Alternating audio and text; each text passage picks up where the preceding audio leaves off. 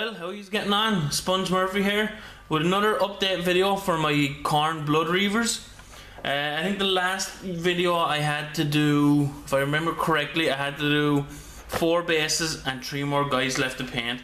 So let's have a look at the bases first. Um, obviously sticking with the with the Nurgle Swamp team, uh, but just a little bit different with these four. I kind of kept them uh, a little less Nurgly Swamp and a little bit more uh, ground on it, like dirt. Like these guys are right in the middle of it. You know, they're going across on rocks, and right in the thick in the right in the thick of the swamp. But I just did for these four, you know, as if they're kind of on the edge. They're about to start going into the swamp or whatever, or going across it, uh, with a bit more stones. Um, and obviously, you know, you have your sand with a, you know, with the ground color and everything. And as well, you know, you have the cork with the rocks in it as well. So I said we're going to get across it. That's how I want it to look. Um, instead of finish the skull on that guy, I think it's the same on this one. Just let the rock I have to finish. You know, this guy looks like he's going across a pathway. You know, in between the Nurgly swampy goodness. Um, and this guy is obviously heading about to jump straight into it, going across on the rock there. I'll zoom in to get a better look. Focus, there you go. So I just did like a sand base with a, I had like the small basin tub from a GW kit from a few few years ago. You know, just little stones go across it, and then the big rock is cork painted like stone, just like the like I did with, with the guys in the other video. So that was them. Um, I'm happy with how they're coming out. I think like as a unit, they're really starting to come together.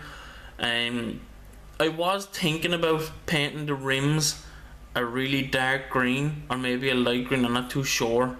Um, because I have these three guys and the rims are painted black, and I just I wondered if I did paint them green would look a bit better. Um, so I might just do one or two just to see what they look like. Um, but I, I was kind of thinking a bit more towards the black now, just to keep them all pretty like kind of straightforward. Um, but I think the green, I might just go with the green just to see. Um, as for these three guys that I had to get done, um, all that's left to do on these is uh, kind of like the highlight colors and any kind of parts, you know, high parts sticking out. So it was pretty much all the same colors I did with the other one, with the other uh, seven guys. Um, you know, you have your. Let me have a look at the color. What do I have here? You know, for lead belch for any silver uh, vermin brown for the light brown, scorch brown for the pants. Uh, the fur was vermin brown. Um, Fiston red, I think it's called. If I can find it here.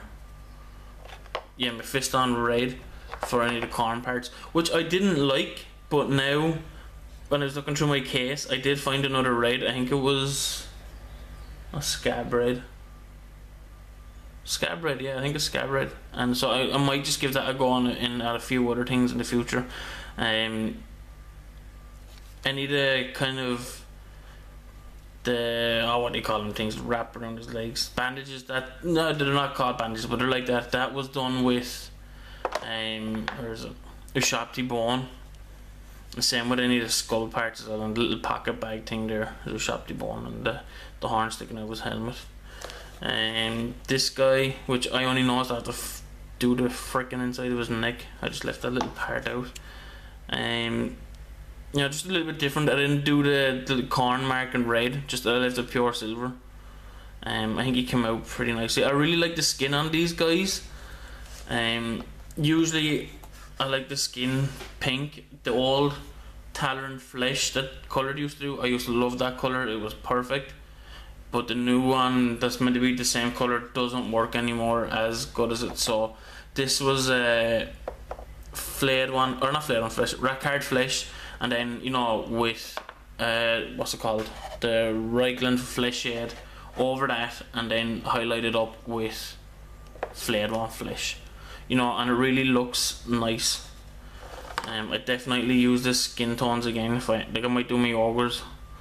Um, this color so um, difference with this guy is, and I only noticed now as well that there's a, I think that's hair, that little mark in there just above my finger. I think that's hair coming down of his helmet. So I wasn't too sure about that. So I might just paint it black just to get it out of the way. I only spotted it there a few minutes ago. Um, he this guy has horns coming out of his chest, all around his shoulders and his back. So instead of just doing him like a blood color or not blood color, a bone color, I went with the blood for the blood god, blood for the blood god uh, effect paint. You know, like the bloody horns coming out. So I think it looks pretty nice on. I think it kind of sticks out a bit instead of just having some, um, you know, just bone coloured horns coming out. And his helmet needs a little bit of a tidy. It's just highlights on all these I need to do now. And just picking up on little messy parts. Like some of these blood colours coming out a bit on the skin, I want to tidy it up. Um, now this little arm piece he has, I didn't know what colour to do this. I really didn't want to do it just plain silver. So what I did was I base base these models white. So I just went over it with uh, a Baal red wash uh, with two coats, and it just looks a little bit different, you know. I don't know whether I, I'm thinking I might have to highlight it some colors, but I really don't know yet. I think I might try and highlight it silver. I don't think that's gonna work though, so maybe I might just leave it as it is. You know, it looks pretty fine. It looks something different. Um, yeah, so just little things to pick up on these, like little things like that. I have to pick up the cloth and all the skulls like these, them little things are only, uh, you know, just a little bit of attention to them, and they'll be done quick enough. So that's the update for these. Um, as I said before, they're really nice models. They really do look great once they're all done up. But there's a lot of detail on them, and you know you'd be picking out little bits all over the place and everything. So you know that will keep you busy. So that's it for the update. Let me know what you guys think please make sure to leave a comment below and hit the like button and subscribe if you ha already haven't um, so then in the third part of this this is part two so in the third part it'll be uh, everything finished and then I'll probably just do like another video showcasing uh, the units or maybe I might do it at the end of the third one so um, make sure to keep an eye out for that so thanks for watching and see you guys next video